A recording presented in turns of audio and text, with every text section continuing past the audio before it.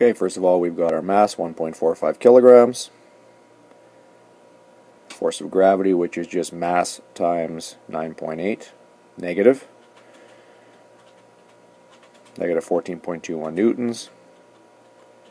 And our normal will also be 14.21, but positive because it's up. Here's our applied force, right out of the question, 10.4 newtons.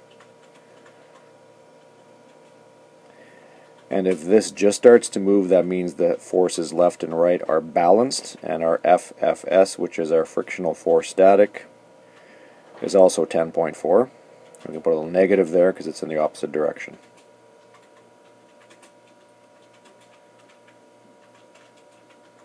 Okay, now we're going to solve for mu.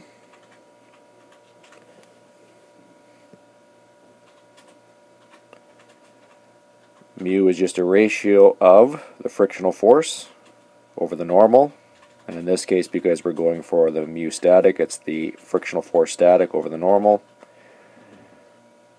So mu static will be equal to 10.4 newtons over 14.21. And you don't have to worry about the negative Okay, the direction is not that important when we're doing this calculation. You'll notice the newtons will cancel out, and you just a ratio of the two numbers, giving us 0.73187. There's some other digits after that. And we're going to round to three significant digits.